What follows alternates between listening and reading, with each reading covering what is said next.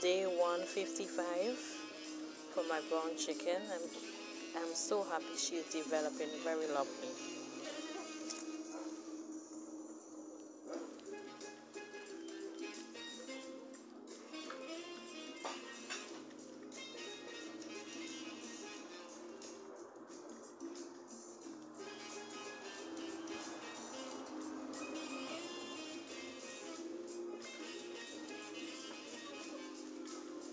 As you see, the hen is not allowing her to feed at all.